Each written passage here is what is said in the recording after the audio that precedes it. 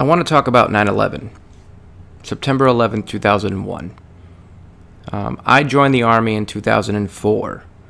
Um, I joined as an intelligence analyst. And interestingly enough, I tried to join before that, but let's let's rewind the clock and talk about you know where everybody has a different story on where they were. This is one of those events that you remember exactly where you were that it's it's almost like post traumatic stress disorder. You can relive that moment. You know all the details. And September 11, 2001 was Tuesday morning. I was in Miami Southridge Senior High School and I was in the social studies class. Now, the classroom that I was in, we didn't have an actual social studies teacher. It was a coach. I can't remember his name, but the coach was acting as the social studies teacher and essentially the classroom wasn't even a classroom either. It was a part of the hallway that they partitioned off. Like they put like some uh, temporary walls and kind of made it a room. Like it didn't have a door, so the, the temporary walls created like a like a a turn where you kind of came into the room by coming around a corner of these temporary walls. And it was a really it was just a makeshift classroom because they were running out of space and they needed that class and they didn't have a teacher, so they added this uh, this coach. So on in the mornings, I don't remember if it was every morning or um, yeah, I think it was every time we had the class that the the first five minutes of the class would be spent doing. Um, he would show a pre-recorded news clip, so something he recorded from the night before. So coach would have us write down, you know, these these different things from the news, like five facts or whatever, and then pick a random student to have them brief to the class. So that morning on September 11, 2001, he forgot to uh, record. Uh, he forgot to record a session. He forgot to record it at home, so he didn't have anything prepared that morning. So he decided that he was going to instead just watch the news live.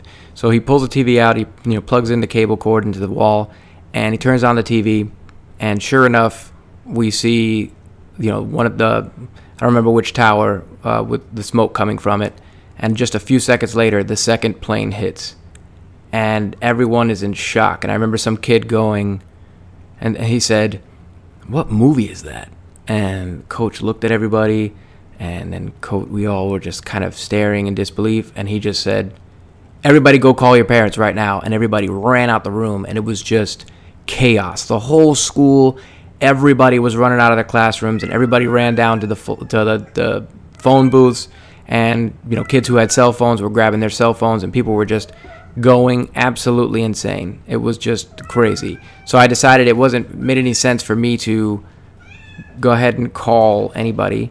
I just decided I need to get out of here. I need to walk out of here. So I, I grabbed, I just walked right out the front door and started walking home because I mean everything was nuts. It was absolute insanity.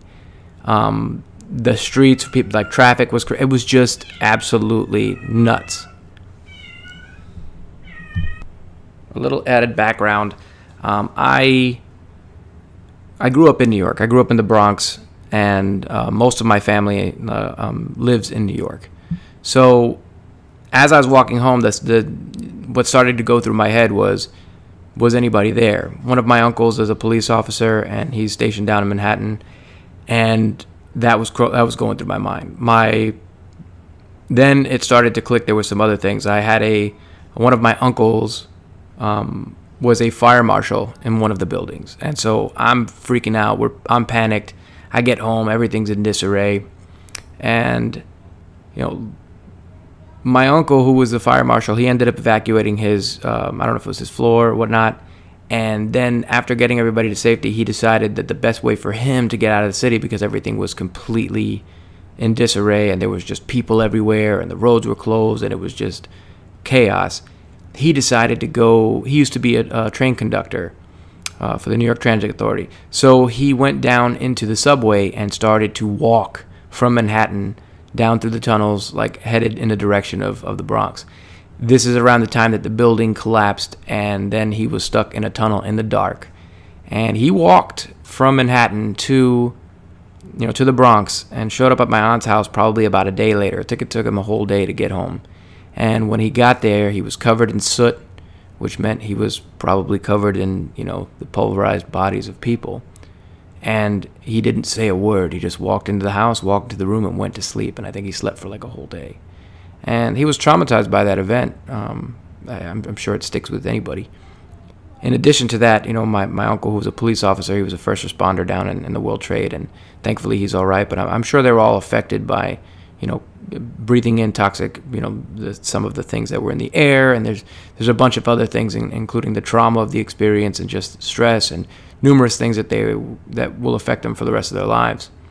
In addition, um, one of my cousins who um, ended up becoming my roommate later on, she she had a job interview. Now this is very interesting because of her her personality. She is the type of person where you know she's she can be a little flaky. I love her to death, but you know sometimes she shows up a little late, and so you know she can you know there's a little bit of less than reliability, but for the most part, you know she's a great person, but like sometimes she can just kind of be, you know, she said she was going to be there and she wouldn't be there, or you try to call her or text her, she's not going to answer you right away. Like that's not the person you call right away when you're having an emergency. But it it just so happens to be that that day, that personality trait, that little quirk of hers, actually, you know, benefited her. It may have saved her life. She had a job interview on the 90th floor or something, and slept through it and then woke up and found out the whole world was different. So, following this event, everything was really, you know, in flux. You know, we, we went to war with Afghanistan and numerous things were happening. I decided that I wanted to join the army. Like uh, within a week's time or whatever, I was talking to a recruiter and I was ready to go. First, I tried to join the Marine Corps, um, and there were some some obstacles to that. So I went over to the Army recruiter, and um, the army recruiter was like, "Yeah, you're kind of gonna kind of run the same things." I was trying to join the infantry, and in my mind, it was like Marines, or you know, a lot of family members of mine were Marines, and so I wanted to join the Marine Corps. And then they told me there was a couple of issues. Um, I'm flat-footed. I have asthma in my history, and they were like, "Nope." I went over to the army for the same thing. They said the exact same thing. So, nope, that wasn't happening. So ultimately, that that kind of just went away. And, and my original dream in life, like I had a real solid, I don't know if it was solid plan, but I definitely had a plan. My goal was to move to New York after high school. Um, well, I was in college yet, you know, figuring out the whole college thing. But I was going to move to New York following high school and save up some money to eventually actually go to Canada. I wanted to go to Second City, which is a famous city for improv, uh, very famous people on Saturday Night Live um, all got their start there. Mike Myers, Will Ferrell, just tons of people. And I was studying improv. I had books on it, and my father bought me books on improv. And my goal was to get noticed and get on Saturday Night Live and be a writer and um, maybe do a weekend update. You know, that was that was what I wanted to do, and I had a very you know clear path. Whether that was going to work out or not, that's what I wanted to do. And 9/11 completely changed that. 9/11 changed my perspective completely, and I thought I don't know what's going to happen in the world, and um, I don't know if that's feasible. New York's going to be different. Uh, maybe the culture is going to be different. Who knows? And I thought things are going to get hard, and I don't really have a choice. Several people in my generation had all joined the military, and I saw that as a viable option. So it, that initial join was out of pure, you know, it was it was hasty and it wasn't really thought out. But after a while, I was like, man, I really I really do want to do that. So following high school, you know, I was um, I got into weightlifting, and I was trying to get my you know my you know things up. And i had spoke to a recruiter and i was like hey is there a possibility that maybe we can revisit this? Like what can i do? Like my you know my flat feet isn't that big a deal and i can get over my asthma or whatever. And uh, that that wasn't an option. That was not an option. So i graduated high school in 2003 or rather i graduated in 2004 in 2003 the iraq war kicked off and once we went, once the invasion of iraq uh, happened uh, they realized that manpower was extremely limited. And so, you know, I, I graduated high school in 2004, and or was it 2003? I can't even remember now. Uh, I think it was. Two, I think I did graduate in 2003. And so the Iraq, well, yeah, that's that's correct. And so I went to school. I went. To, I started going to Miami Dade College, and I was going to school for writing because I figured that would be um, you know what to do. But my dad wanted me to go to school for criminal justice, so I was taking criminal justice courses that I really didn't want to take, but uh, it seemed like a viable plan considering the way that the world was headed. And I was like, I don't, I don't know that my dream is going to happen. And so I was, you know, letting other people's opinions and letting, you know, events in the world impede on on my dreams and my goals. And and I was just doing things that I didn't want to do for reasons that I shouldn't have. And ultimately, um, I was working I got a job working at Hollywood Video. So I actually applied for the wrong position.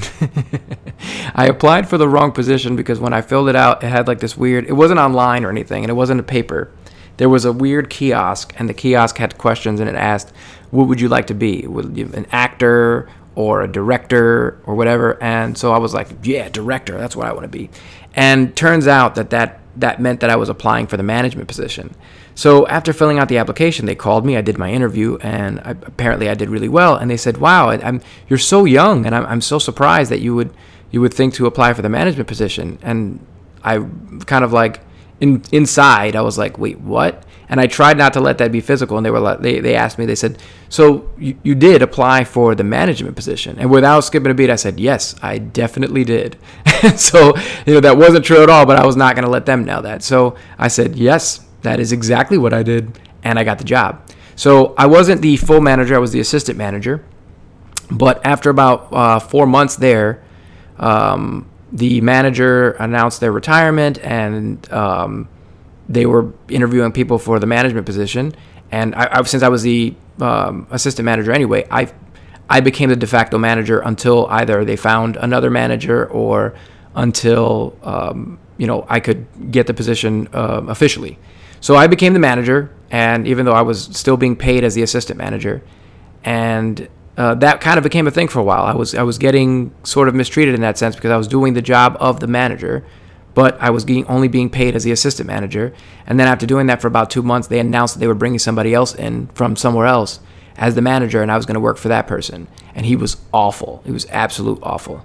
And it was it was a stab in the back. I was like, you know, I, I gave a lot to this, and I I've, I've done really well, and like there's there's not a lot of people that have made these leaps and bounds, and then here comes this manager who was threatened by me because I guess he was vying for a district manager position and he didn't get that, and he was just very bitter, bitter, very bitter guy, and I got the call about a month that left uh, dealing with this guy like it was it was really awful. Like he was just abusive to everyone man. He very, very much so.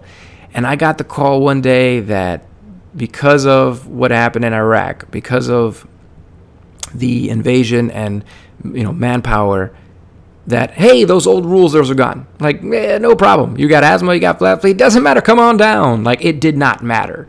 So they called me up and they said, "Hey, all that stuff's waiverable. You want to go to the army?" And I was like, "Yes," because not only was I working at Hollywood Video, I was also in school, and I wasn't doing that that well. Um, my parents had a car, I didn't have my own car, and my sister was going to school. She was in elementary school. Both my parents worked, and we shared one car. So we were literally like, it was getting up super early to take one person to work and then drop that person off, and we were all sharing the car. And like, this was something that was ongoing. I was going to school during the day, and then I was closing. Um, I had to drive from South Miami to Kendall to go to school because I was going to Miami Dade Kendall campus. And then my dad worked at Home Depot down in, in Cutler Ridge, which is now Cutler Bay. And then my mother worked at this big building called PRC, which was like a it was a call center, and that was also in, in Ridge or Cutler Bay, right by my job. So like we would, you know, I, I parked my car, one of us would walk over and and get the car, and we were all just, you know, pick up this one, pick that one, and just like it was constant back and forth. So somebody had to go and pick up my sister at three o'clock, and then somebody had to go and pick up my dad when he got out of work at five or whatever, and then I would have to close um, the the video store, Hollywood Video and it would be like you know one o'clock in the morning that I would get out, and this was just awful. Like there was no free time. It was nothing but work, work, work, work, work, and school, school, school, and it was just a drag. And I was doing really well at work, but I wasn't doing really great at school. And I started to notice that this is probably what's going to happen. I'm probably going to end up dropping out of school, and then I'm going to end up doing this job and doing this for a while, and then who knows where that's going to lead. And then maybe I'm going to make that my priority. And then it's like your goal is to become district manager of this video store. And that's just not what I wanted in life. And I saw other people that would do that and they're a manager and then they become a manager and then that just suddenly becomes your life inexplicably. And I didn't want that. And so the first opportunity to get out, I was gone. And it was probably the best decision. I mean, it's definitely the best decision I ever made at the time because um, Hollywood Video ended up going out of business shortly thereafter. They ended up going bankrupt. Turns out that that manager was stealing. Um, it was a lot of drama, a lot, and it, it, it sunk. That ship sunk fast. And when I left, I quit mimicking uh, a scene from it's, it's, a video store, right? So I, I decided to mimic a scene from uh, Half Baked on my way out. So what I did initially was he scheduled me for like a like two shifts back to back, like 16 hours to do inventory or something, which was not legal and not like good at all. While he was off like smoking weed, like he was also a pothead. And I was like, dude, what the hell? So instead, like he'd already done this to me before, and I guess they were they did something wrong and they needed to do something again, or I don't remember, or maybe it was like when he first came in, they did inventory, and now we were doing inventory for like annually or whatever. And so I was like, dude, he's doing this again after I told him, like, that's not right. This is like, and he's, again, super abusive and trying to, like, you know, exert power. So ultimately, I said, instead of going against it and fighting, I was like, yeah, absolutely, I'll do it. And you know what? I, I, I got it. And he was like, essentially, he wanted me to pull these shifts because he was supposed to, that's what it was. He was supposed to pull one shift, like, I think it was in the morning, and then I had the evening. But he wanted to go to the beach. He wanted to go to Fort Lauderdale and go to the beach. And so he's basically, I'm going to schedule you twice so I can go to the beach, which was absolutely awful, right? So I said, you know what? No problem, man. Yeah, I got this or whatever. And he was like, oh, you're not even going to contest it? It's like, no, man. You know, I, I really just, I, you, you got it. I got this. And when he took off, I said, yeah, man, I'm not doing that. And as soon as he was gone, like I opened up the store late on purpose. Mind you, I was like, I was 18, so like I was I was like done with this. I was like, no, you know what? I'm I'm op- I'm closing this thing down, and like I opened it late so that, that way he would get the notification uh, later on. But I waited till oh no, I closed it. I closed it. So I closed the store early, but I waited till he already told me he was in Fort Lauderdale. So he had drove 45 minutes out of town, got all nice and settled, and that's why I'm like, screw this. I'm gonna I'm gonna close up shop. So I literally walked around the store and I started knocking off like tapes off the off the the you know video. We at the time we still had VHS. We were we were um, converting to DVD. So like um, I think the last movie that we had on VHS and DVD was like Pirates of the Caribbean or and the Lord of the Rings. And so we um, the first Pirates of the Caribbean by the way. And so you know I went and started like knocking off some of the displays or whatever off the thing, and then I was like I walked over and I was like I walked to the front desk and I was like, "Goop, goop, goop," and I looked at some like this one guy that came. He was a, a regular, and I was like, "You're cool," and f- you, I'm out, and I walked out the door. And then I text the other guys like, "Hey, are you coming with me?" And they didn't want to do that. It was major drama. He ended up having to come back from from Fort Lauderdale and open the store up and and it was just this wild thing. He was like, well, "This guy just walked out and quit," and it was just crazy. And a bunch of us walked out. Like there was a few of us. It wasn't just me. It was a few of us that walked out. But there was one guy that he he just he wasn't willing to do it. And I've got other stories about that guy's name was Jonathan. And I don't, I don't want to blow his spot up, but he was a good guy. But he just oh no, it wasn't just John. It was also Dave. I forgot about Dave. Dave was my boy, but Dave Dave needed the cash, man. He was he was going through a lot. He was taking care of uh, his sister raised him and uh, he was living with his sister. Like something happened to their mom when he was younger, and so his sister. Uh, I remember David Foster. He was a good guy, man.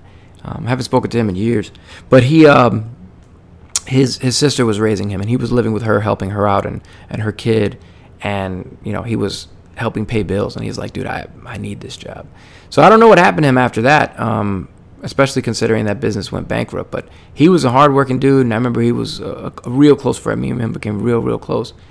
Um, but anyway, the yeah, I got the phone call, and they said you can join the army. So in October of 2004, I was gone. I shipped out, and I went to um, where did I go? I went to Fort Fort Jackson, South Carolina, and they uh, they had a reputation amongst other people for being called Relaxin' Jackson, and they hated that. So it wasn't because they did everything that they could to make sure that they didn't have that stigma, and it was above and beyond. So that was no, it was no easy thing. But everybody thought that Jackson was easy because it wasn't an infantry uh, training, it wasn't an infantry training regiment. It wasn't, or, or rather. Um, the base. That wasn't there wasn't their primary focus. They had other MOSs, and because uh, females and males trained together. So in infantry units at the time, it was only males. So they kind of just saw that as ah, oh, they're they're you know weak. And there was all these rumors about stress cards and all these things, and they couldn't yell. None of that was true. Absolutely none of that was true. And so it was it was difficult. And I, I, in fact, a lot of the stories that I knew from people who went to Fort Leonard Wood and went to other different bases, and some of the stories that I told them, they were like, "Dude, what? We didn't go through that." So they had a reputation like the quote relaxing Jackson thing, and they hated it. So they they really went out of their way to to break that moniker and to that stigma to get rid of it. So that was not true, not even in the slightest. So, in addition to that, like so, um, you know, I joined the military, right, you know, during that time, and the whole world was a completely different place. I think a lot of people don't realize like what that did, and I was probably the least likely person to join the military prior prior to that, but there were elements involved. You know, some people will tell you there's only one reason that they join, like, oh, I'm a patriot or I'm this. Like, I wouldn't, I, mean, I definitely became more patriotic after 9 11, and um, lots of people did. Um, I felt like not just my country was attacked, but my home. Like, I, uh, I you know, grew up in New York, that's where my family's at. Like, I felt it was personal in a sense. And I also had, you know, didn't have a lot of options. Like, going to school wasn't the easiest thing. Like, I didn't, I didn't have like a dorm. Um, I was I was at home. Like it didn't feel like I was in college. It just felt like I was still in high school. And then all the people that I saw in high school, they were there too. So it didn't feel like what people talk about college and going to you know dorms and being on campus and none of that. It just felt like the you know being a super senior, I guess, like a fifth year of high school. I was like, this is this is not at all what it should feel like. And then I'm working and it's it's just worse. And I just felt like uh, this is not where any of this should be going. And so when I got the opportunity, I was gone. And then now in the military, I get some of those things that I, I was told the college was going to be about. I got, you know, uh, I got to travel the world. I got to, you know, living in the barracks. Like I had this dorm experience, and other people that are that are young, and we're all getting exposed to different things, and and you just meet all these um, incredible people from all over the country, and it was just exactly what I needed. Um, you know, some people they reinvent themselves, and I think for me, being in the military gave me um, the sense of confidence to be myself, not not to create a new person, just to finally be a little bit more open with who I was in general. Because I was always that way with people that I trusted, but now I could just be that way all the time, and it just uh, allowed a different perspective for me. And in addition to that, being the type of person that wouldn't have done that before. Like I wasn't in the best shape. I wasn't, you know, I didn't play sports in high school. I tried to play baseball, and um, I got selected for the team.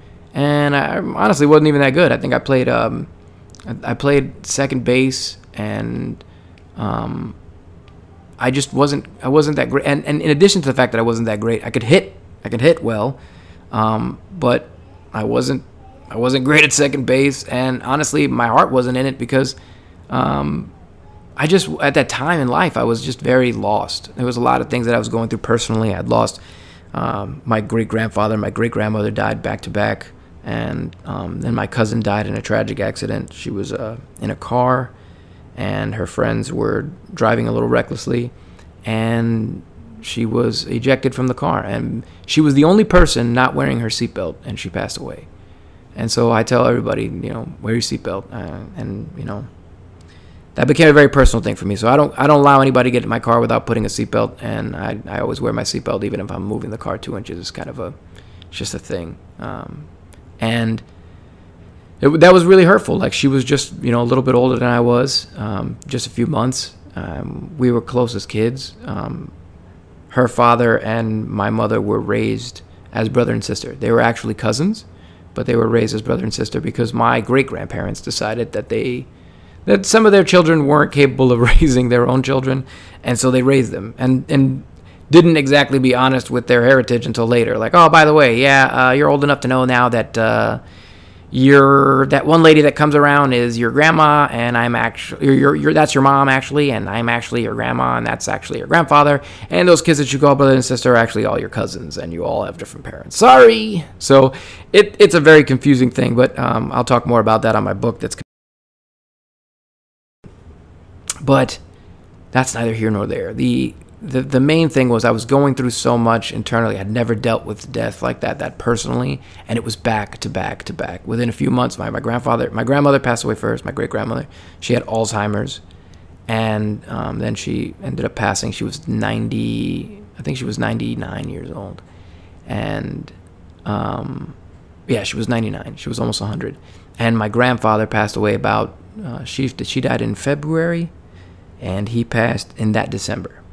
And then my cousin uh, Christina passed away in May of 2001. So they both passed away. My great grandfather and great grandmother in 2000, and then my cousin passed away in 2001, just before 9/11.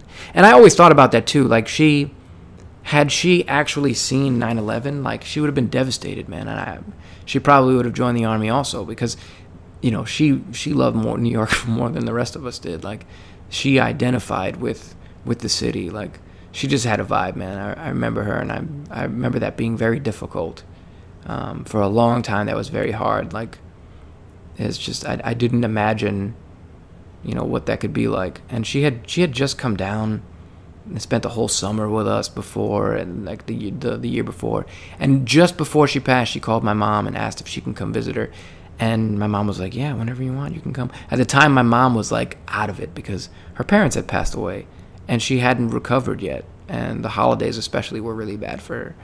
And so my mother was like, "Yeah, yeah, you can come, and you know that that'd be great." And my cousin was like, "All right, I, I really need to get out of town," and she didn't get a chance. Like right around that time, we were making, you know, she was making, uh, I guess, efforts or trying to coordinate something, and then the accident happened, and it was, uh, it was, it was really bad.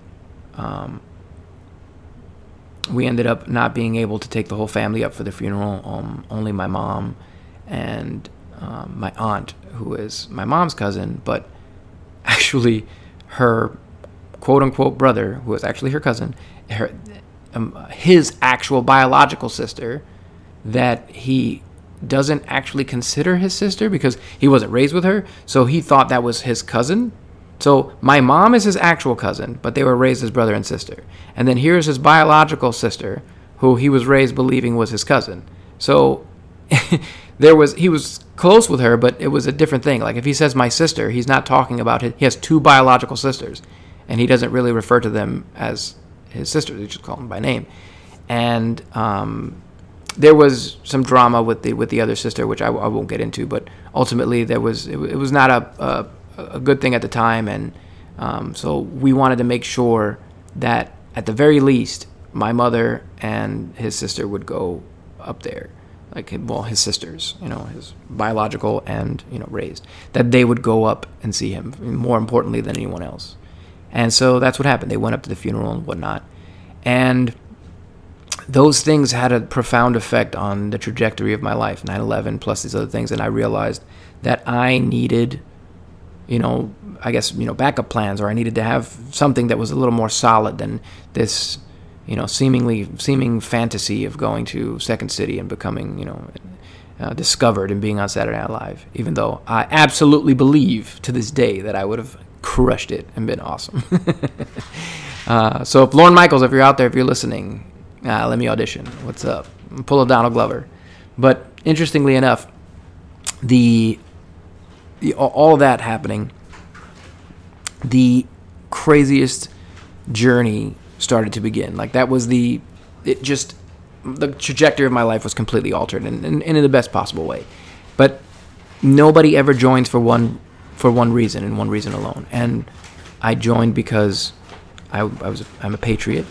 I joined because, you know, I felt personally invested with what happened to New York, to New York City, and to what happened to the United States of America and I needed school money. I, I knew that going to school, um, that the army would pay for it. Um, I knew that I needed a skill. I needed a job. And this time I, I, approached the joining the military in a different way. This time when I went to my recruiter, I initially again went to the Marine Corps and told him that I had a job in mind. So I was always fascinated with, um, and I played Metal Gear Solid as a kid.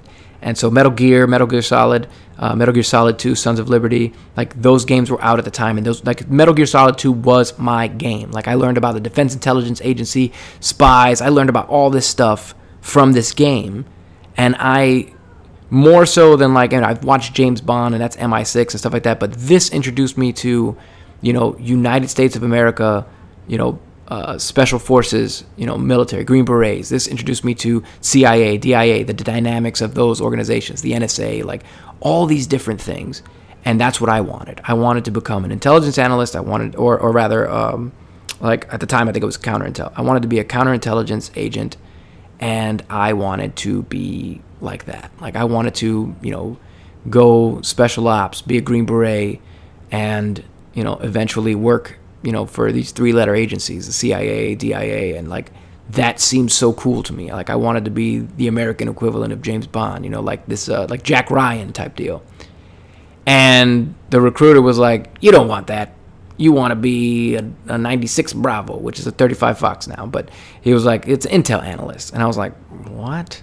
And so he said, "Have you ever seen the movie Spy Game?" I said, "Yes," with uh, Robert Redford and uh, Brad Pitt. He says, "Well." Brad Pitt is the guy you want. You're you're saying you want to be, but Robert Redford's his boss. He's the guy that's pulling all the strings. You want to be Robert Redford, and I was like, all right, I guess that sounds cool. What it was was that they were really pushing for Intel analysts at the time, and because of that, they they were really pushing hard. Like they were trying for Intel anyway, but like I had a really good ASVAB score, and my GT score was uh, over 110. I think I had 120. Yeah, I had 120 GT score and anything above 110 can guarantee you any job you want. So they're pushing for that stuff, and so that's great. But mind you, I went over to the Marine Corps first. So I go to the Marine Corps, and they were like, "Yeah, we don't guarantee jobs. It's needs of the Corps." And I was like, "I'm sorry, what? Like, I don't guarantee my job?" They're like, "Nah." So I can I can qualify for all this stuff, and then you tell me I could end up being a cook.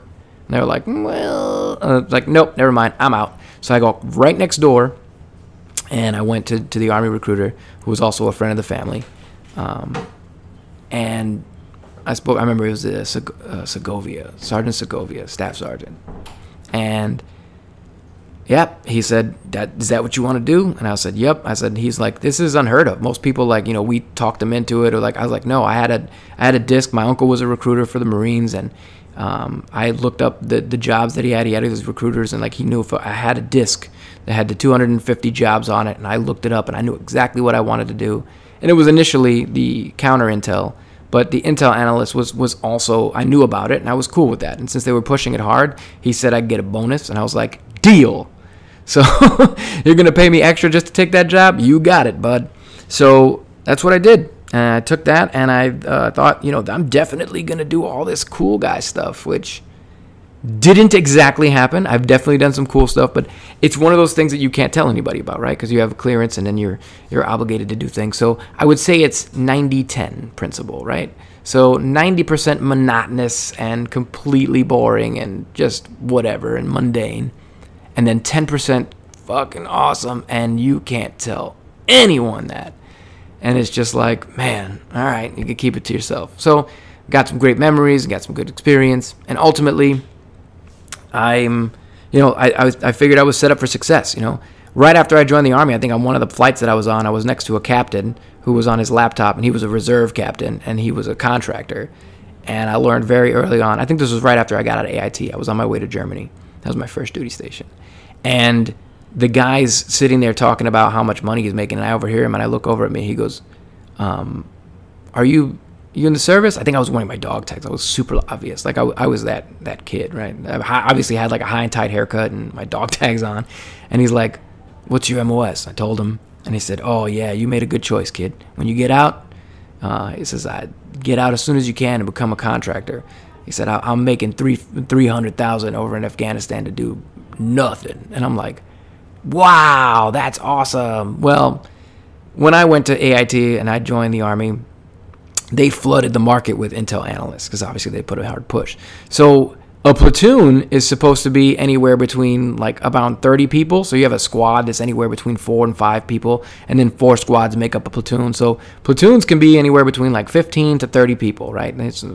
And each company would probably be made up about three platoons, and you know. Three times thirty. You're talking at, at max push. If you were doing this, you're talking like 90 people in a company, right? that's feasible, you know, anywhere between that and maybe hundred. So we had a hundred and six soldiers in AIT in our platoon.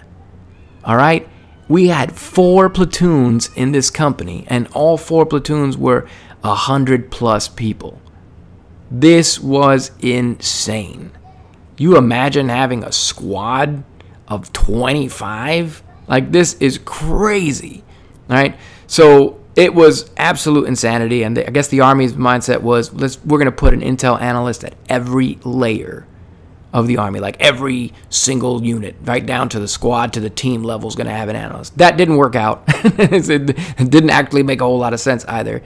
But uh, the Army's reactive. So, Instead, they ended up having like a lot of people, and you had entire MI groups, entire MI brigades, and just uh, is overstuffed, which then led to a lot of an influx of contractors and government employees, which then caused the pay to go down. So when I got out, my first job in 2012, I think the pay um, when I started was 72,000. Um, I was a cyber threat analyst um, supporting DIA, and at the time nobody knew what cyber was like or you know nobody really knew how it fit into the intel picture anyway. But that was a good thing for me because then i started learning a lot about that and i made myself more valuable.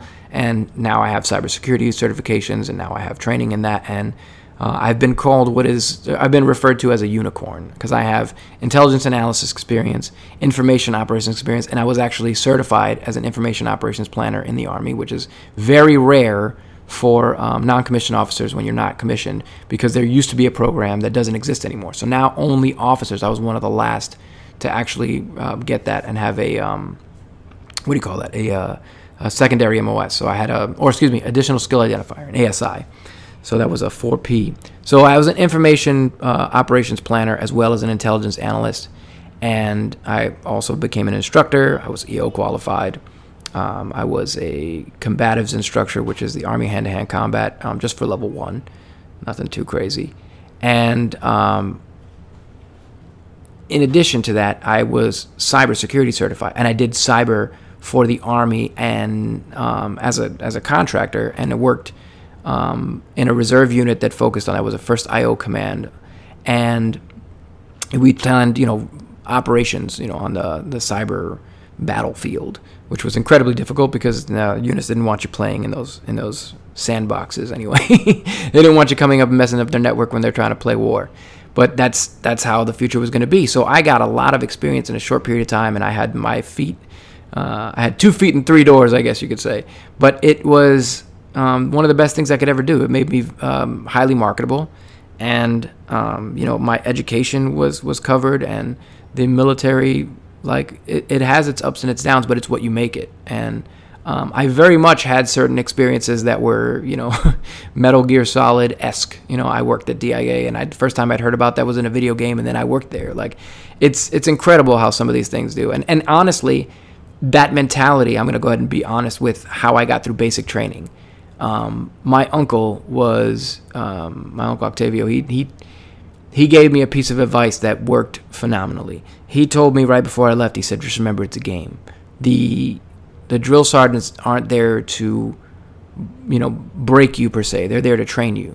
So all the things that they're doing may seem like that makes no sense or that it's cruel, but it's all to get you to a specific, specific place. Like if you all as a unit fail or you don't graduate or the numbers are low, it doesn't look good on them. So they want to get you to grad. They want you to graduate. They're not gonna, you know, you know, uh, they're not gonna like fix the system.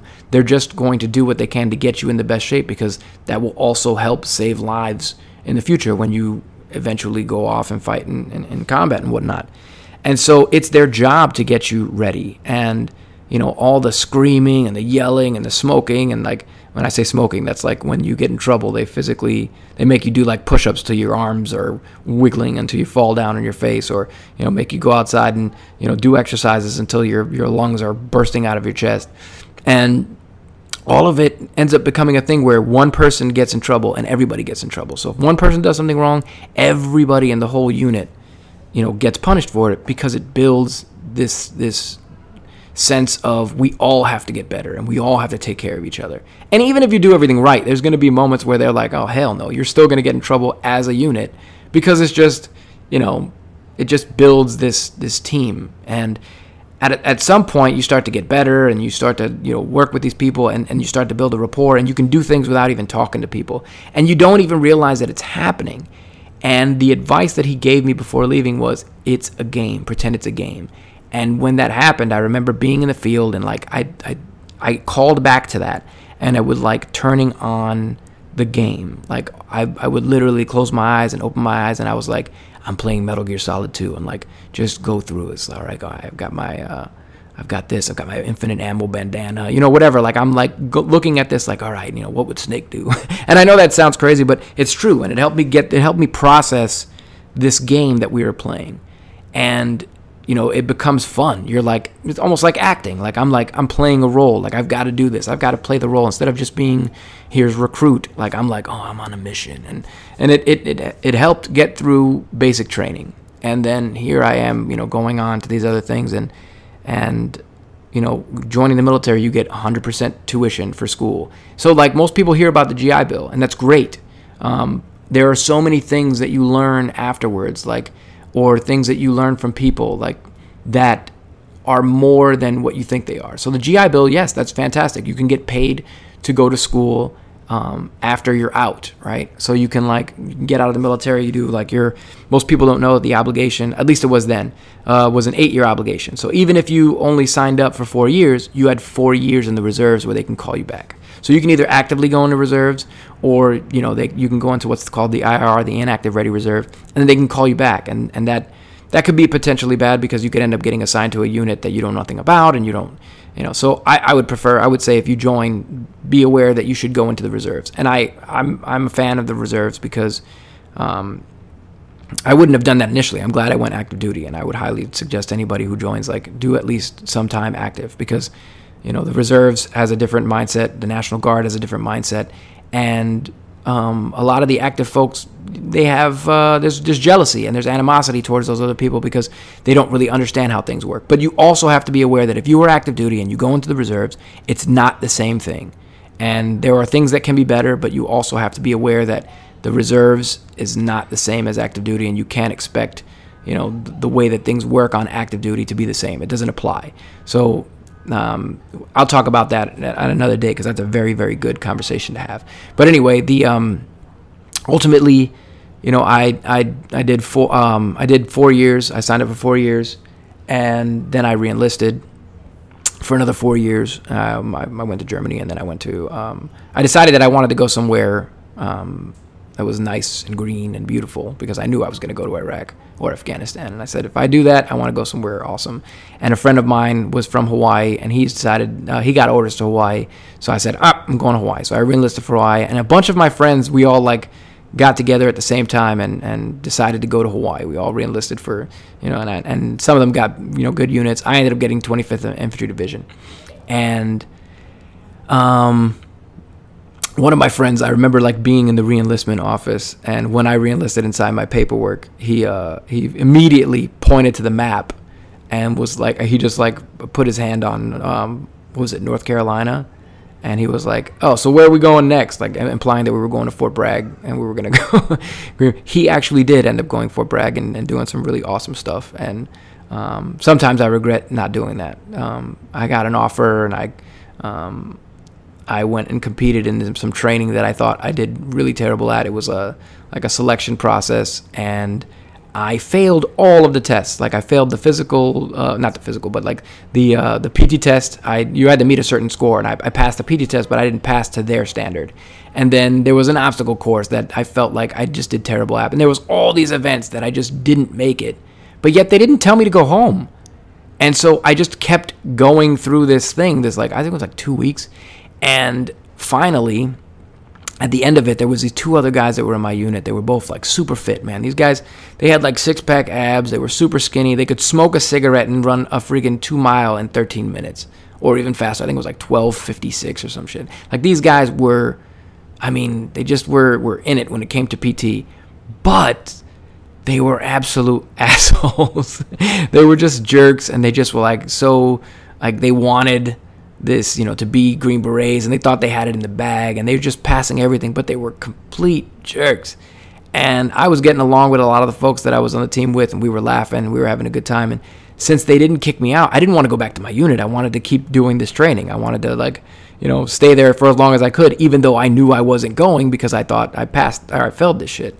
So at the end of it, they end up telling me, they gave me an offer, and I was like, "What is this?" And these other guys, I had heard them leave the office, and they were pissed. They were like, "Ah, oh, man, I didn't get selected," and I was like, "What? How did how did these guys not get selected? They were bitching about it, how the whole thing was a scam, and then here I have this this form that says that I, if I choose to, I can go do this." And I was like, "How the hell did that happen?"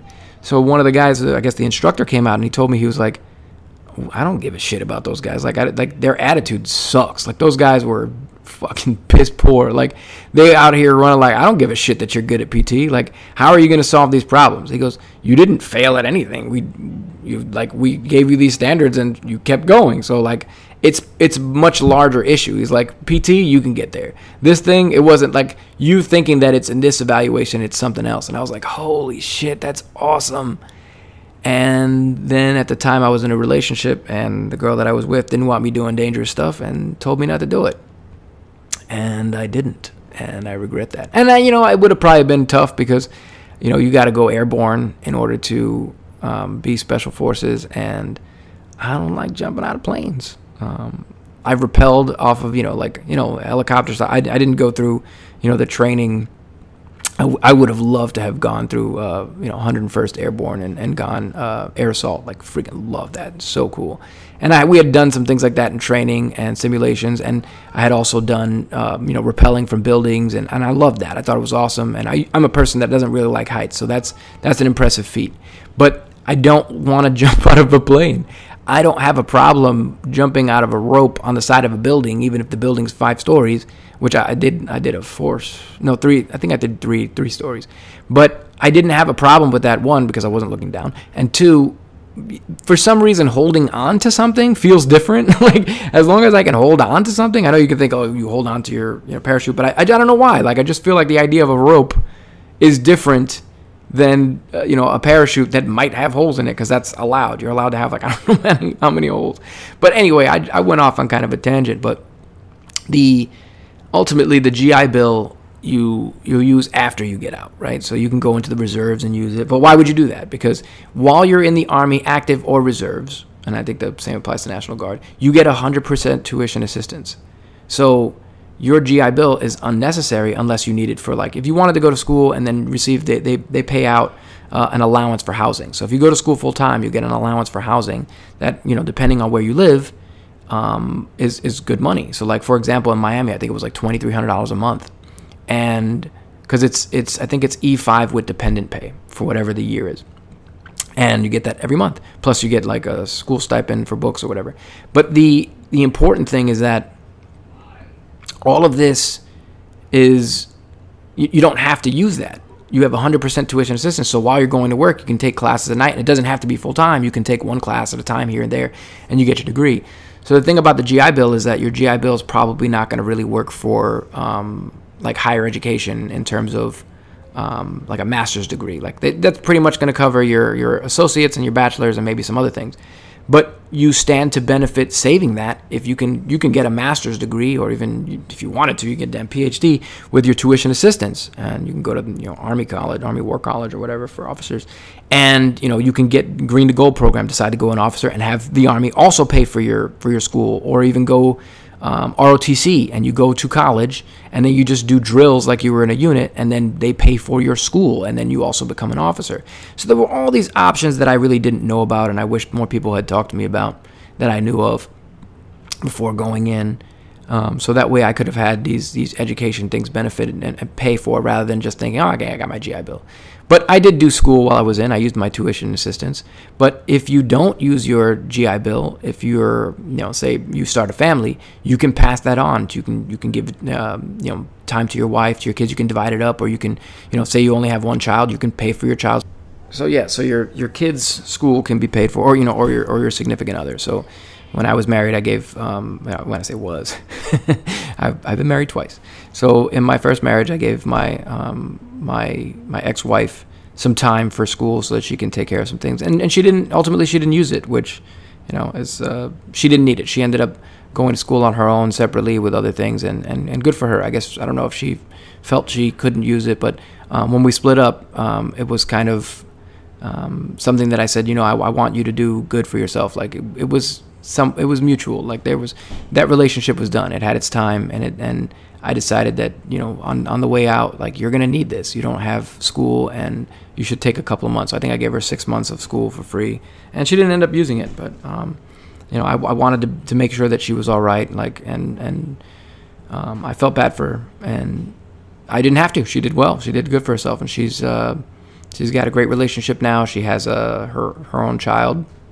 Her son's awesome. He's he's he's hung out with my sons, and uh, great kid. And you know her she has a, a relationship with my wife because they bonded over certain things. They both experienced. Uh, some uh, miscarriages and they had some shared experiences and they were also had to deal with me so so they had some shared uh, you know trauma dealing with me right and that being said, uh, you know, I, my, my wife now, um, I wanted her to go to school, and she was she was going to school when we first met, so I gave her some of my GI Bill, and she's used some of that, and then I divided up the rest for my kids, so they have at least a, you know some time. I have three boys, so they have some time to go to school when they get older, and um, I've used the benefits the military has given me, you know, to to large extent. Um, I've taken full advantage of those things, and there's plenty of programs and, and so much more out there to, to, be utilized. So I highly encourage anybody, if you have any questions, to reach out to me. Uh, I've learned a lot recently. I just met a guy the other day who told me if you're 100% disabled,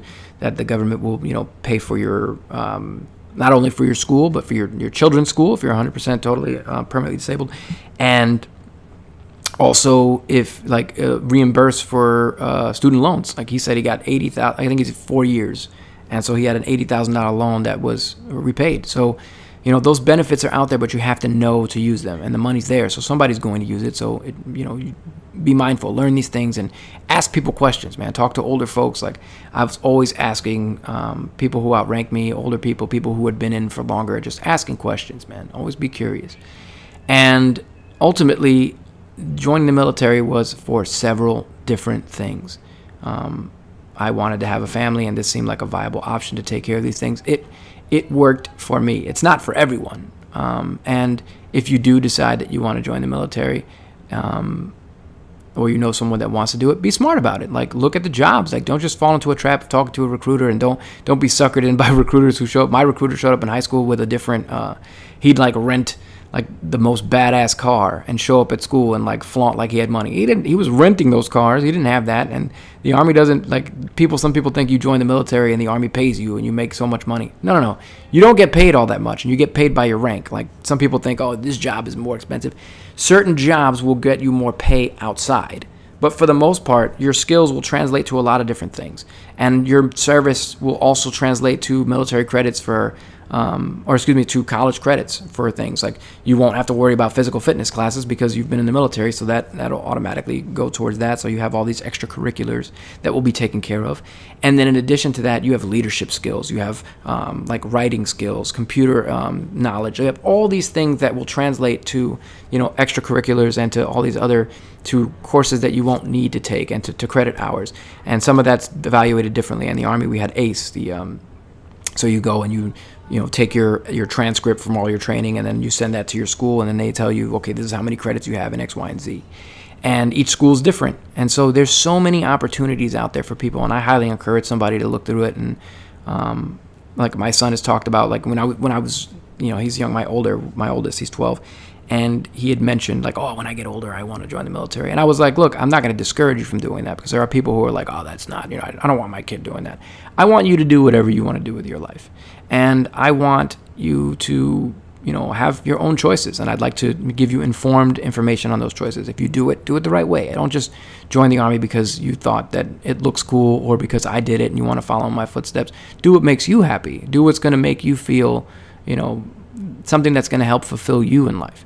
And so uh, I told him, well, what about you know the space force? Like space, you know, we're not going to war with the aliens anytime soon, so that's one thing. It's safe, um, in a sense, and you know, or maybe not. I don't know. 2023, who knows? But the the technology that we're developing, you know, we're going to be moving towards maybe colonizing, you know, in space, either setting up a, a, a, space station or a space colony or, you know, something on the moon, maybe a lunar base or going to Mars and terraforming planets. Like, eventually we have to leave this planet, expand, because, it's you know, we, that's just I, just the way I see it has to happen.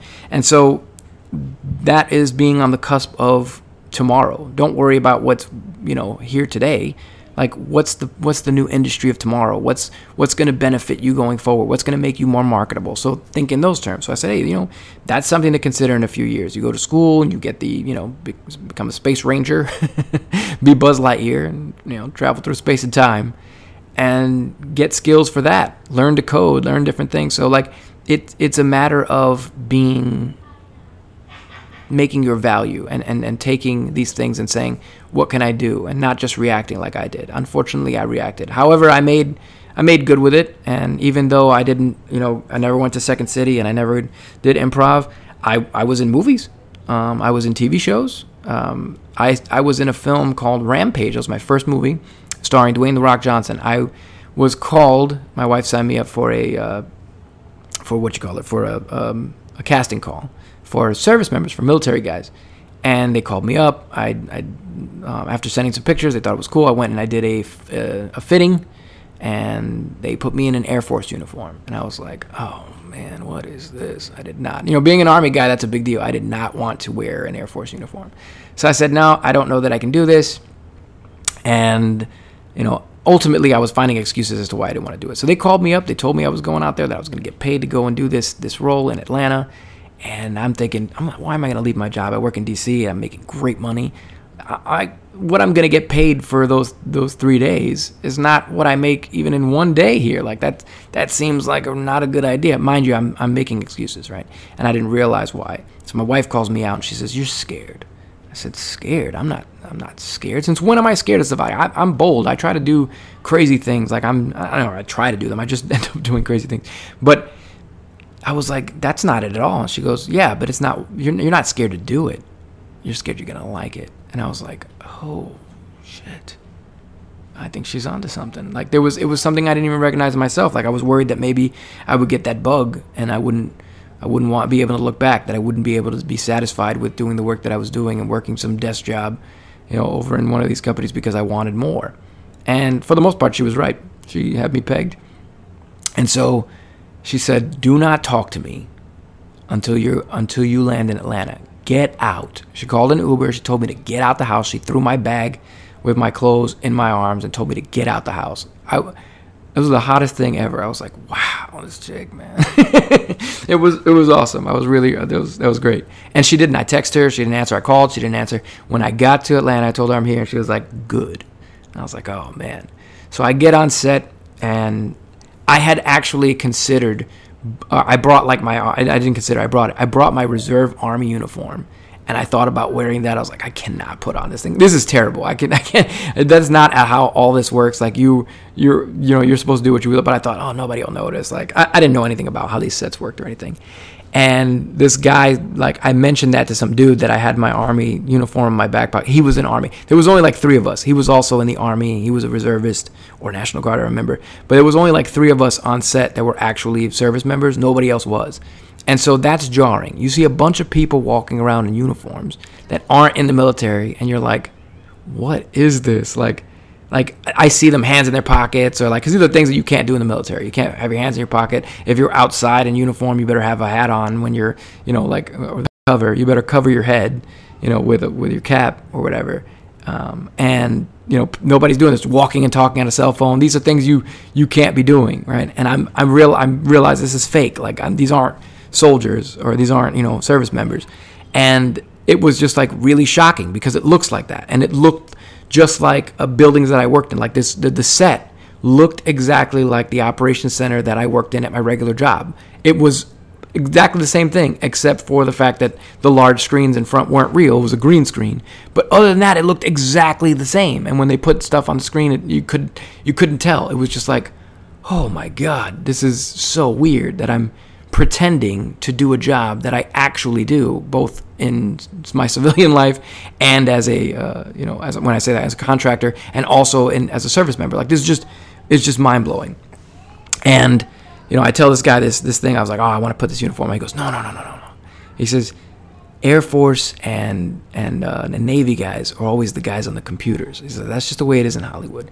So he goes, they picked you because they probably want to put you over here, and, and they ended up giving me a desk. And I was like, huh? He goes, yeah, Army guys and Marines, we guard the doors. I was like, oh man, that's so interesting. So the next time you look at a movie, look who's guarding the doors and look who's working on the computers. It's, you're probably not going to see an army guy on the computers unless it's specifically an army movie. It's just really weird. Those are like the stereotypes in Hollywood.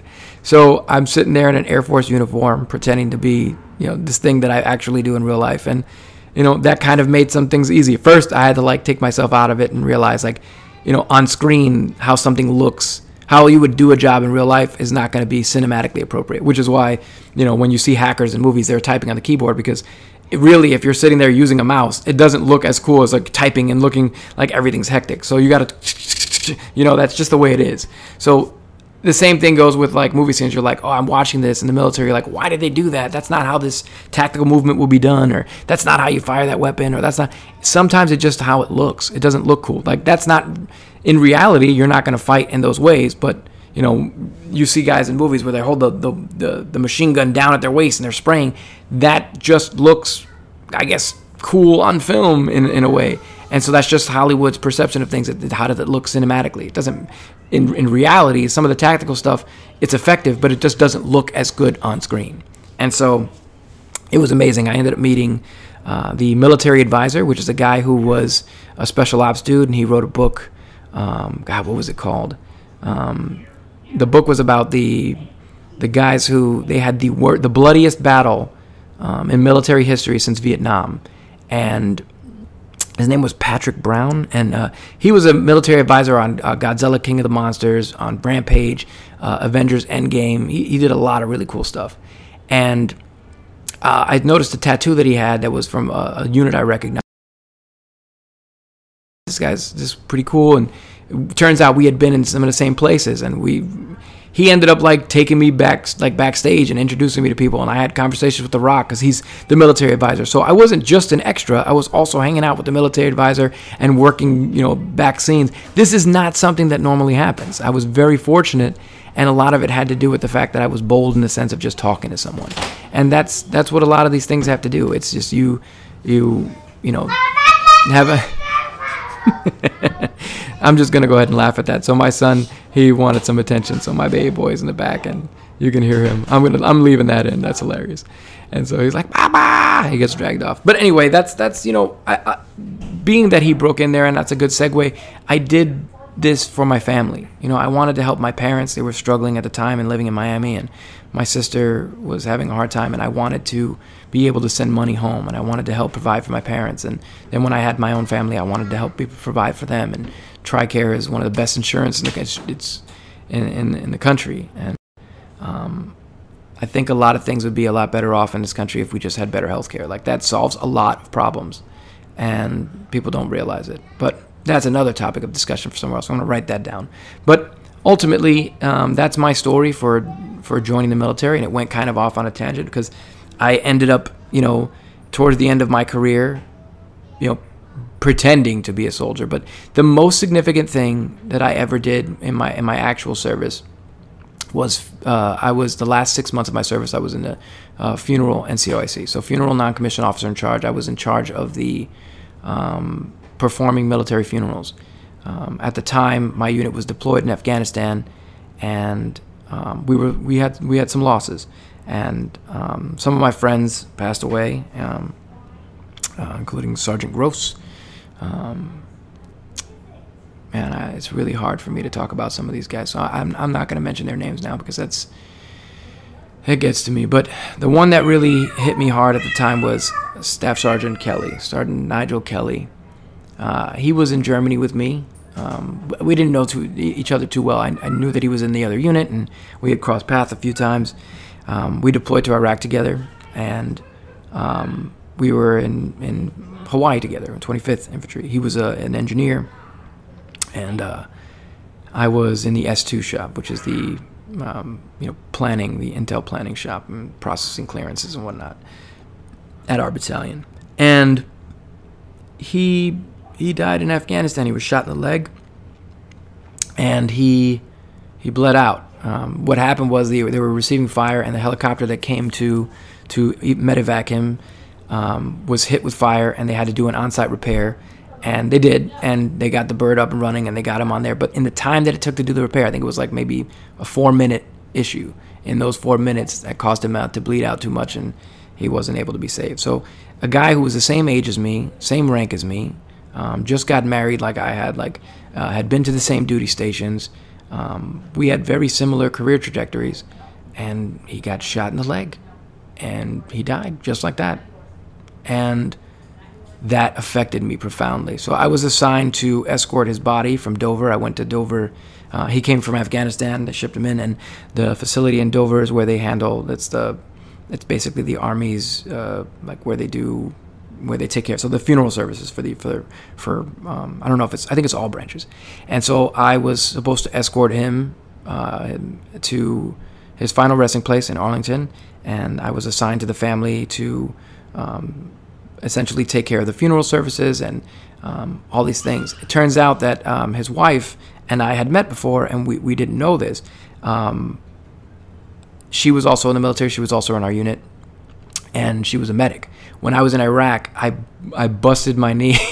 we received direct. We were getting fired at. The base was receiving um, indirect fire, and some I, was I don't know if it was mortars or uh, 107 Mike Mike rounds were coming over, and or 110, and then the the rockets were coming across. It was nighttime. And I was running, and my platoon sergeant ended up running into these low wires. They were like, I guess, um, I don't know if they were like telephone wires or like internet wires that were running from one building to another because the power came from one area, but the computers were another. Anyway, he ended up choking. Like he ran into this, and it clotheslined him. And I saw it happen, and I I, I ducked underneath it, looked back at him, and I was kind of laughing, like, "Oh, damn, he got clothesline."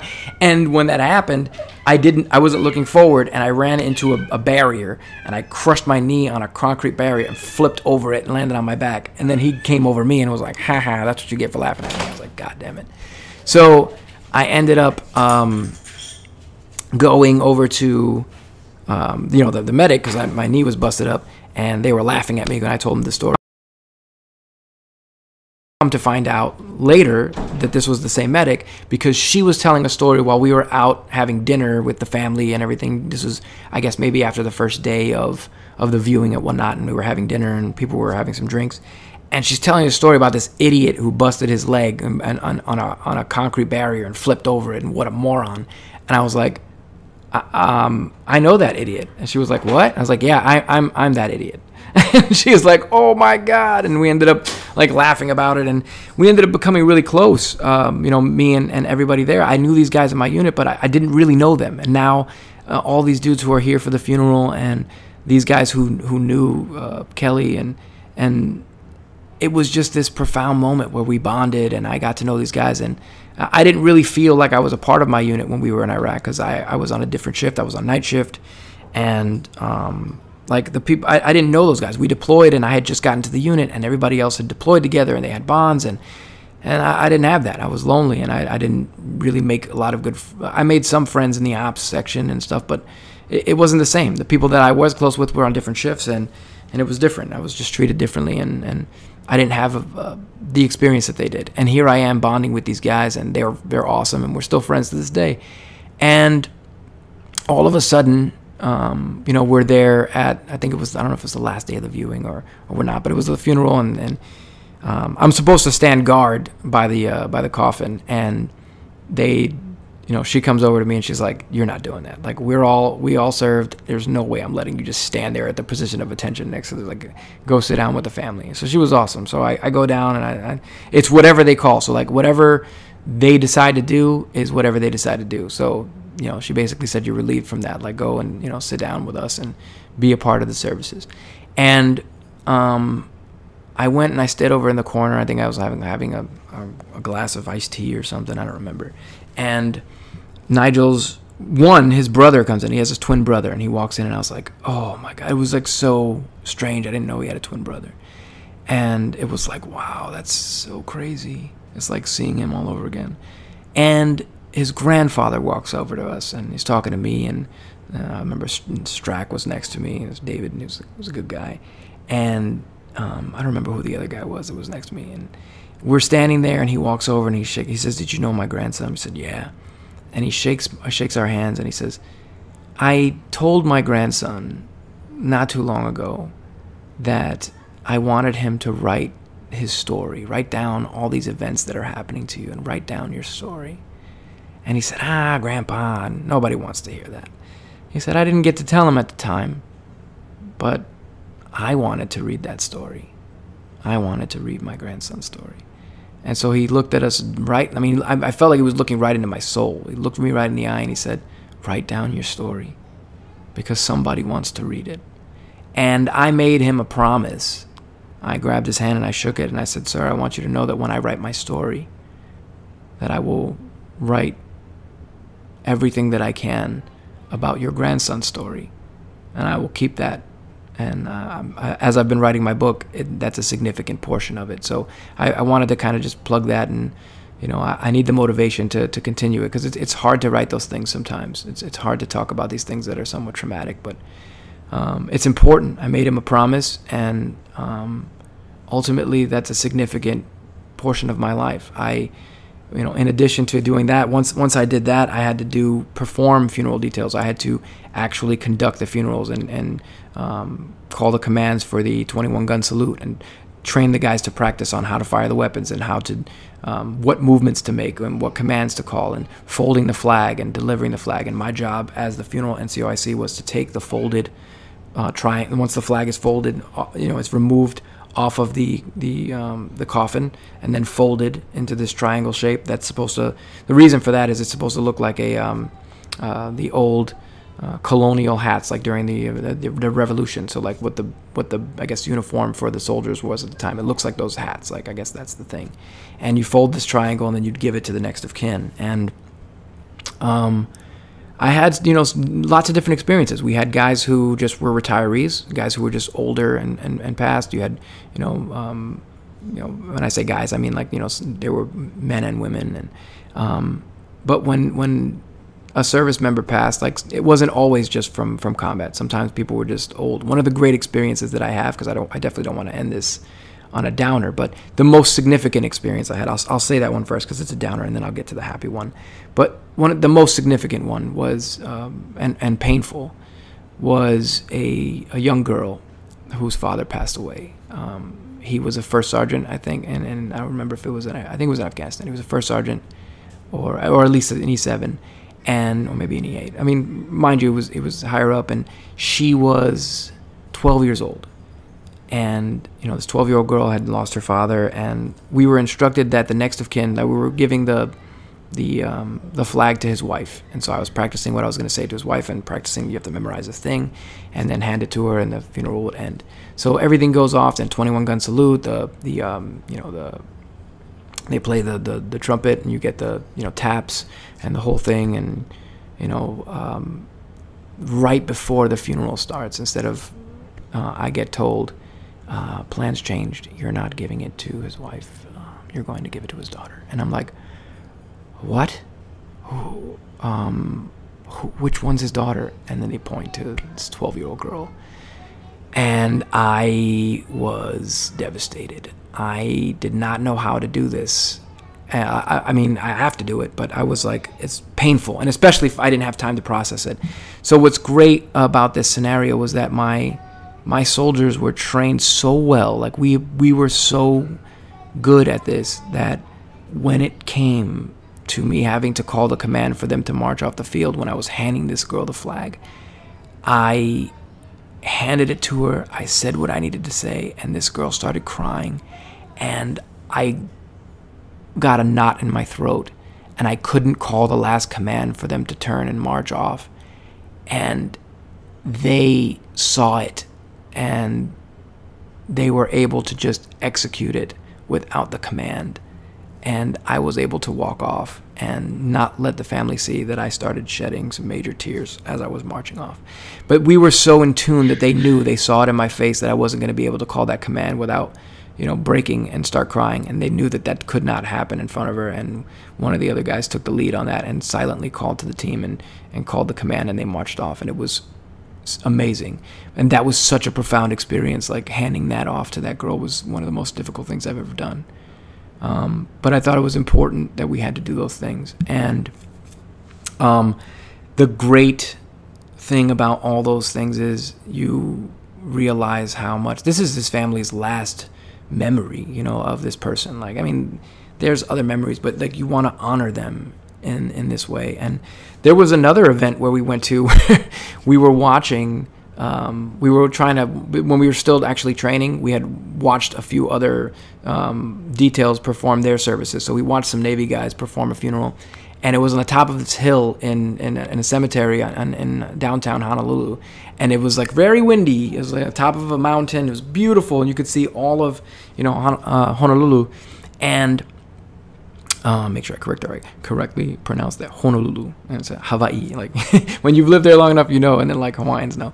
So anyway, um, you can oversee the city and like and, and, you you see the beach and it's beautiful, right? And these guys do their thing and they they decided to you know pop the flag out and hold it up before they would fold it. It was just kind of a cool motion to do that we had kind of adopted. We learned from them to do that. We're like, oh wow, that looks really dope when you just kind of like and when you when you're getting ready to fold it, you just pop it out and then you do it well, these guys executed that, and it was on a super windy day, and the flag flew off into the sky towards the ocean. And we were like, oh my God, what just happened? The the guy who was running, this is a Navy guy, he immediately turns and salutes the flag as if that was supposed to happen. And I could hear all the people in the funeral services going, oh my God, that's like they thought it was part of the thing. It wasn't at all. Like they legit thought, "Oh my god, that's that's so cool." Like they did that. Like that had nothing to do with it. So, you know, there are going to be times where things get messed up in these funerals and like that's not what's important. What's important is the demeanor and how you react to things and how you were able to handle something that maybe shouldn't have gone down that way because this is the last memory that they'll have. And in one sense, they might not know the traditions or how things go, and that, that works to your benefit. And in the other sense, if, if you have to improvise, if you make it look good, they will have a, a significant memory from this, and they'll, they'll know that their loved one was respected and that this was done with dignity and honor. And I'm going to you know that that's you know a pretty funny story. But I'm gonna I'm gonna go ahead and close out with a. Um, I was we were called to go to um, what was it, Kauai, to, to Kauai, and the there was a, a um, an older guy. who was a World War II veteran who had died, and they didn't want. Uh, we were flying out there to, to conduct the funeral, but they didn't want a 21 gun salute. Um, they said they had their own guys, and we were like, oh, okay. So we get out there and we find out that the guys they had were a bunch of these these old dudes that were deployed with this guy. So friends of his that he had served with. These guys are in their 90s, man, all 90s. These you know, small Asian guys come out and they've got their their their their rifles and they're holding it together and they did this 21 gun salute for their for their friend and it was beautiful, man. It was absolutely beautiful. It was awesome. And these guys crushed it. And I was just so proud of that. Like look at these guys. These guys were all these years later, these guys went to war in World War II with each other, and all these years later, these guys still have a relationship. They're still meeting up at this little museum that they created. It was basically like, I don't know if it's the VFW, but it was like their, um, I guess it was like their little VFW, like a little Veterans of Foreign Wars, like this little group that they met up every every week, and they donated all of their, um, I guess, things that they had acquired in, during their their service to this museum that they had built on site and essentially it was a World War II museum. It had they had you know flags and pictures and, and, and all these you know weapons and all these different things that, that were there, and they donated it, and people would come and you know look at the museum, and then they would uh you know it, it was for um, donations. You come in to donate, like there was no price. You come for free, but you, you know, people donate. And so they asked us to stay after the funeral. They were like, "Hey, can you you guys want to come back with us and check out the museum?" We were like, Absolutely. We were supposed to fly back immediately, and we're like, screw that. We're going to hang out with these dudes. So we go to this place, and the guy says, um, um, we're going to have some lunch. I'm like, all right, cool. Um, he says, you, you like uh, you like sushi, you like poke? And I was like, yeah, I love poke, like like absolutely. He goes, cool. So he opens the fridge, and I'm thinking he's gonna pull out a thing of, uh, you know, they, there's gonna be some fresh cut, or maybe they got it from the store. And the fridge is just full of beer, nothing but beer. And I'm like, what's that? And he's like, oh, yeah, the, the, that's not the fish. This is what we're really here for because a buddy's going to go get the fish now. So I thought he was going to go to a store. Not true at all. He ends up going behind the building, and there's like a, um, I, I, guess like right across the street, there's the ocean or a, a river or something. and he actually fished some fish out, like right there, uh, tuna, and and and killed the tuna right there, cut it up, and, and made the freshest like poke I've ever had in my life, which is just you know raw, um, you know, raw tuna or you know like different kinds of fish. But it was like, oh my god, it was amazing. And then we're just slamming beers, which by the way, you know, you should eat before you drink. And we were already drinking, and fish doesn't really exactly do it. Like it's not gonna coat your stomach enough for you to not get tanked. So we got tanked.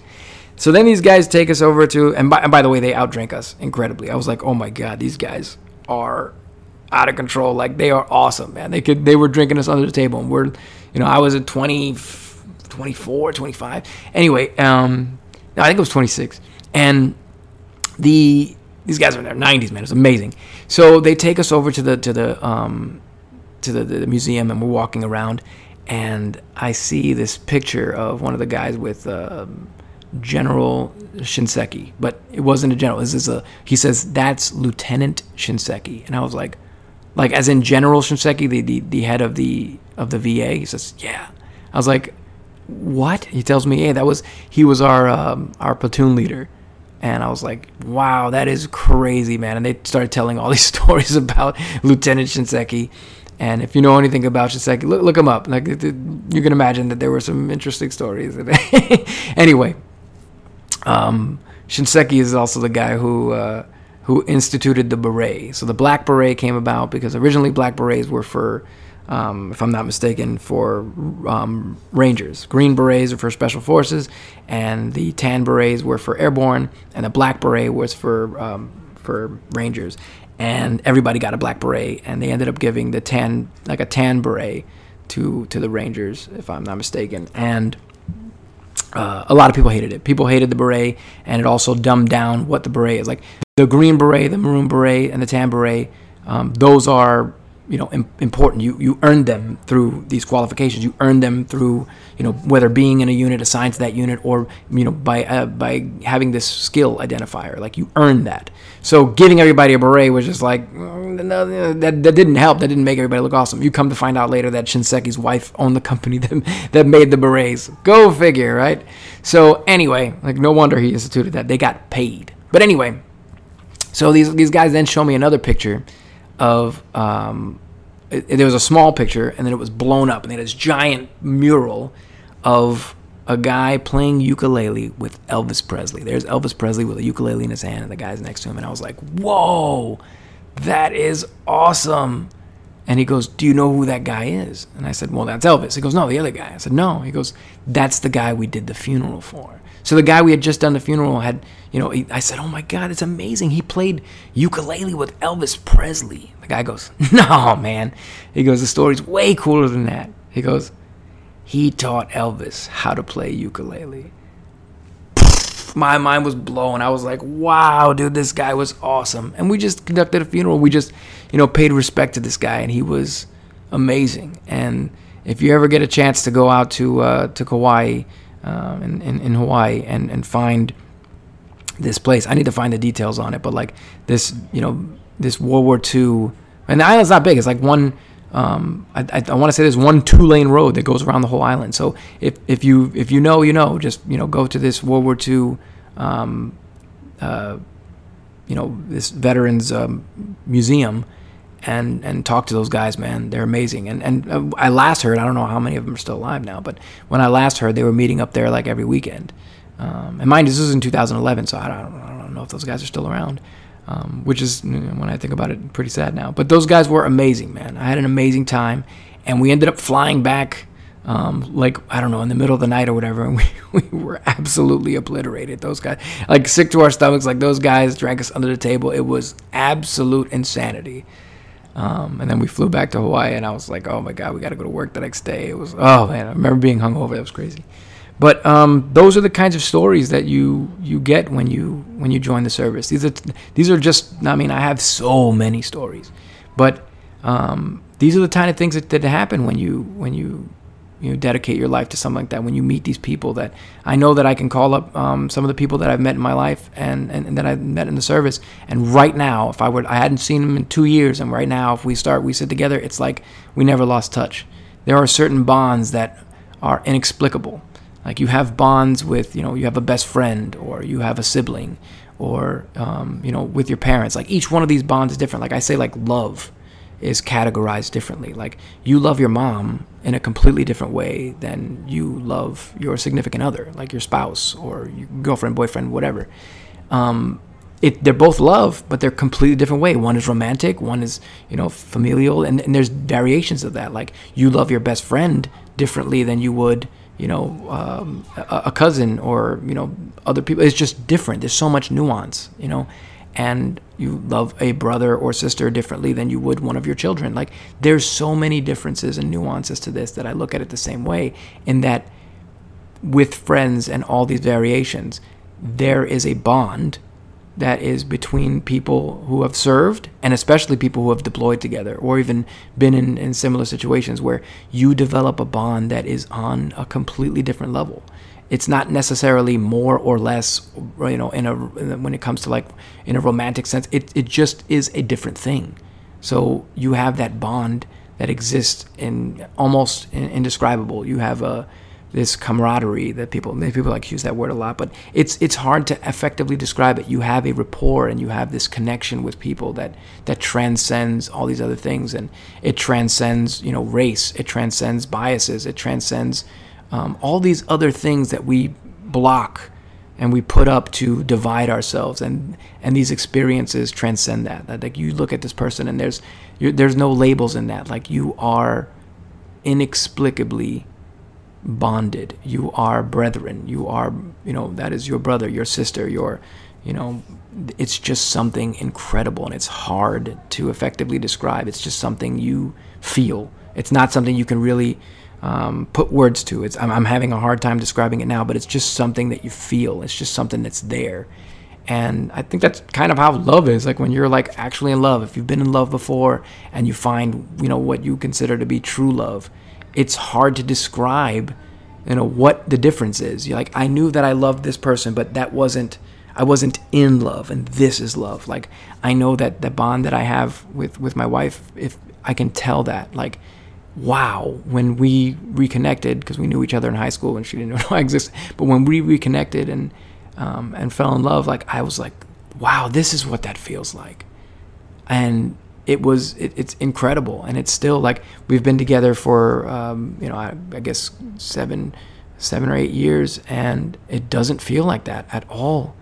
Um, and that's a great thing. Like she's still the first person I want to talk to about everything and she you know knows things about me that I, I don't have to say like we can we're in tune with each other on things and and we discuss things with each other and it's a bond and I feel like there's you know a similar bond when you have this when you've deployed with someone or you've served with someone where it's like other people really can't understand it. It's just a thing, and it might not make sense from the outside, but it just kind of does make sense to you. It's a conundrum, I would say, and uh, it's just interesting, paradoxical concepts, but.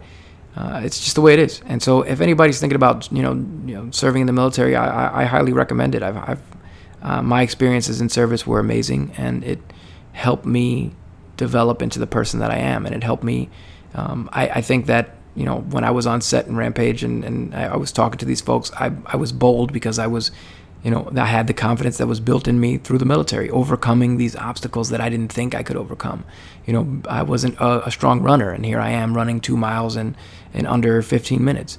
And, you know, here I am doing pull ups, and here, you know, rappelling off of buildings and and just doing things that I thought physically I probably you know I wouldn't have been able to do and, and suddenly I'm doing them. Suddenly you're not thinking about it you're just doing it. And uh, I spent a year in Iraq and I you know I survived. I've been blown up been shot at been you know like all these traumatic experiences and yet I'm still going and every single one of them was was brought upon through the building of this confidence and the nature of of these of these things, um, just experiences and, and becoming learning about yourself and being confident in who you are and sometimes just not even thinking about doing something just doing it and reacting to it afterwards. You just got to get the job done it's not about running uh, running sucks i don't want to think about running but i'm going to run those two miles and then i'll deal with the consequences of the two miles after i puke at the end of the after i've crossed the finish line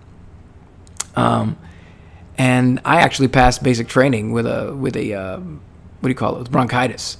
I went to uh, I, I I was actually given an opportunity. I went to the hospital and they were going to put me on quarters, which meant like I, I had to be locked in the hospital and I was going to miss my PT test, which meant I was going to fail and then I was going to be stuck there. And my drill sergeant showed up in a van and uh, he wasn't going to sign me out, but like the timing was incredible. He basically came over and said, um, "The van's outside. If you stay here, you're going to you're going to get recycled, and you're going to have to do all of this all over again." He goes, "I don't care what you got in your lungs. If you run that PT test tomorrow and you pass it, you're graduating and you're getting out of here. So run like you're running home. Just imagine running home." And he said, The van's outside. I can't sign you out of here. You can't sign out of here. They got you. But if you get in that van, they're not going to track you for a little bit and you're good. You can graduate. And by the time they realize you're missing, which is crazy when you think about it, you'll, you'll already be processed out of here. And that's what happened. That next day, I, I walked out that, that clinic. Nobody, nobody said anything. I just walked out the clinic, hopped in the van. He drove me back to the barracks. And that next morning, I went and did that PT test and I passed it with like a couple seconds to spare. I crossed, I ran, and all I could imagine in my head was running in my neighborhood towards my house, just running home towards my house. And I ran and I got to that finish line, and right when I got there, I like collapsed, dropped down on my knees, and got ready to start puking. And then the drill sergeant yells at me, "You didn't cross the line, Cruz!" And I realized I actually didn't have to cross, so I stuck my like my arm and like rolled over and actually crossed the line, and I made it by like two seconds or some shit. And then I started puking everywhere. You know you really ran hard when you start puking. But I, I almost failed it because I like got I was like so relieved, like, eh. Meanwhile, I was like two inches from the damn line. I didn't actually cross it. And he was like, cross the damn line, Cruz. I was like, oh shit. And so anyway, uh, yeah, you know, sometimes it's by an inch or by a mile and that's all it takes. You, you survived, you made it, you passed it, and these are events in your life, and um, I, I, highly recommend the service for anybody. And and there's ways to go about it. There's different ways, and talk to people, and there's different opportunities for things. And if you do it the smart way, and you have a plan, and and you know what you're going to do when you're in, and you know what you're going to do when you get out, or at least have an idea, and and set goals and write them down and talk to people who know things and, and don't just go blindly and don't just follow. Um, that's one of the things that I think the military definitely brought out in me too was not being a follower and being a leader.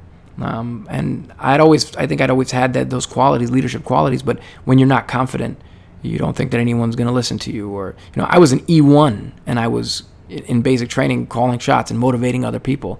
And I was given the, um, I guess, the outstanding performance award in basic training um, for being like the most improved. Like I, I most improved in um, in PT. I most pr- improved in, in in all these these qualities, and I motivated a lot of people because I needed that myself. I was talking to them, but I was really just telling myself, "You get off your ass. You got to do this." And so, like, the more I motivated them, the more they motivated me, and the more I motivated myself, and we were able to accomplish things. So all these leadership qualities were, were coming out out of a need, out of a, a need for personal need that translated to, to these other folks. And I would, you know, crack jokes in basic training. I got to definitely tell stories about that in a different time because there's so many. But I, I, would do voices of the drill sergeants and, and voices like do different. I can I can do some some mimic voices and stuff. So I'd hear voices and you know do some jokes at night, and we'd get smoked for it. And um, I definitely got in trouble. I, I, definitely have to tell this story later on. I, I, got in trouble for, for something involving you know, changing my voice. But um, ultimately, like people saw me as a motivator. People were inspired by some of the things that I had done, and that was a drastic difference from the person who started. You know, the kid who who was unsure of himself and just didn't know what to do in life and was, you know, hoping that I could get an opportunity. And here I was saying, taking charge, and it it allowed me to be confident. So if you're considering joining the service or you know someone who's joining the service, tell them, talk to people, encourage them, and um, you know just be smart about it. Like I, I recommend it, and I think that um, it's it's more than just being patriotic. It's it's having opportunities that you may not have been accustomed to, and um, it it does things for you. It, it does. It opens up things, and it allows you to meet people and and see the world. And there's so much opportunity um, and so, just if, if, if, you know someone who's thinking about it, be smart about it and talk to people, not just recruiters, because they're just going to tell you what you want to hear or what you know they're just going to tell you a bunch of crap to get you to sign paperwork. Their their job isn't to keep you in. Their job's just to get you across the line. So don't don't listen. Like you know, be knowledgeable. Do your homework. Talk to people, and um, and yeah, and, and and have some fun. Like if you if you're already in and you're scared, have some fun. Um, I think that's important. And um, there are things that I will take with me forever. And clearly, I'm having a hard time figuring out where to end this. But no, but I'm serious. Like it's it's there's so much I could say about service. There's so much I can talk about, and um, I realize that I definitely want to. So I will definitely be talking about this more in the coming weeks um, on my YouTube channel, Story Avenue.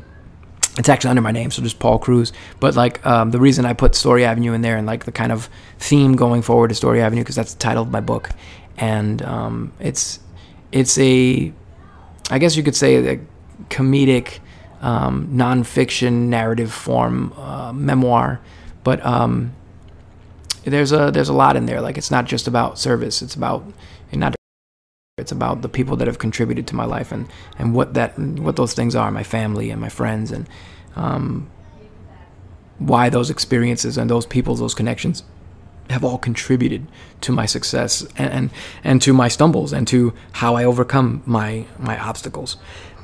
And I ultimately, you know, um, I'm going to be talking more on, on, on, maybe on the next episode about um, my military service and how that felt like, um, you know, what it was like being, um, you know, a Latino in in the service. Um, interestingly enough, uh, I'm, you know, Puerto Rican, and uh, there aren't many that I know of, many Puerto Rican, um, you know, uh, all source intelligence analysts or intel analysts or MI guys or, you know information operations planners or or cybersecurity folks. Like it's it's not something you see every day, and and that's that's caused you know that's that's caused me to have to fight for for certain job positions and fight you know to um, you know make a name for myself because people you know they don't think of you as that, and so uh, it, it's it's an added obstacle, but I, I've overcome that obstacle in a lot of senses, and um, hopefully I've changed people's perspective and they don't just think, oh, a Puerto Rican is a, doing computer stuff. That doesn't make sense. And yeah, you know, there are lots of us that are smart and we don't have to settle for, you know, what we're thrown. Like we can forge our own paths. And I'm really, really grateful for the people that have been in my life and I'm, I'm grateful for all of my friends. I, I'm, I'm glad that I had this opportunity to let this out. I feel like I really needed to. Um, and I'm probably gonna, you know, maybe revisit this subject, um, Veterans Day, Memorial Day, or whatnot. But I wanted to say thank you for for this, you know, thank you for your service. Thank you for, you know, listening to this. Thank you for supporting these endeavors. And if you supported a military, if you're from a military family, or you know, you um, have supported somebody in the military, if you've said thank you for your service to someone, thank you for yours. Thank you for the support because whenever somebody says thank you for your service, I, I, I, years ago I didn't know how to respond to that. Now I've learned I say thank you for the support because it means everything. Uh, military families are difficult, and the spouses and the children they deal with a lot, and it it's significant, and those people deserve recognition as well. And um, you know, it, service wouldn't be service if you didn't have if it wasn't about the people that you're serving. So everybody who's ever who felt that, thank you so much and I appreciate you. And if anybody has any questions, I'm, you know, I'm more than willing to respond to that. And I hope you enjoyed this because I, I enjoyed speaking about it and I enjoyed, you know, going this. I, I'm. It feels like I started with a particular subject and kind of went off. Like it, it was initially just the initial joining story, and then it became something else, which I guess is what the whole point of this long form um, format. But thank you for taking the time to listen to this, and uh, let me know if this was um, valuable to you, and if you thought that this was um, something I should continue to share. And again, keep an eye out for, for my book. I'm going to be putting up more information on that soon. And uh, make sure that you uh, follow this podcast, LatinXperience, and that you also uh, follow the, on YouTube. We have LatinXperience on YouTube, at LatinXperience, and um, Paul Cruz on YouTube, and follow me on Instagram. Um, and, and Twitter or whatever. I, I got some stuff. Anyway, you, you, can find me. You know my name, and you know type in Latinx it, it, experience. It's there. Don't worry about it. And that's it. Thank you. Appreciate you. And